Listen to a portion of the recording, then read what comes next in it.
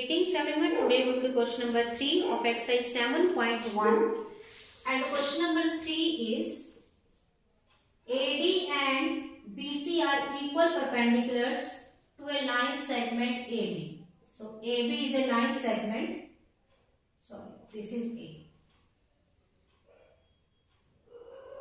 This AB is a line segment and AD and BC are equal perpendiculars. They are equal as well as they are perpendiculars. Show that CD bisects AB. This CD bisects AB. That means prove that BE is equal to AE. Okay. So this is the question number 3 of exercise 7.1. So we will make we will take two triangles, this and this and we will make them congruent. In triangle CBE and triangle DAE.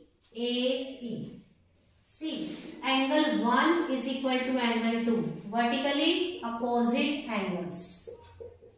Okay. Angle 3 is equal to angle 4. Each 90. This 3 and 4 are 90. Again, BC is equal to AD. This is given to us.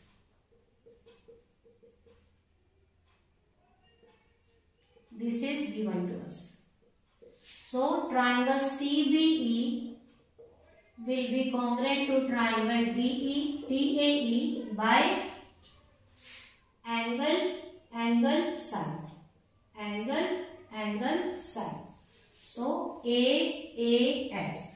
And if the two triangles are congruent, then their other sides are also equal. BE equal to AE by CP, CT. That means corresponding parts of congruent triangle. Okay. Hence, proved. I hope you all have understood. Thank you for watching. Have a nice day.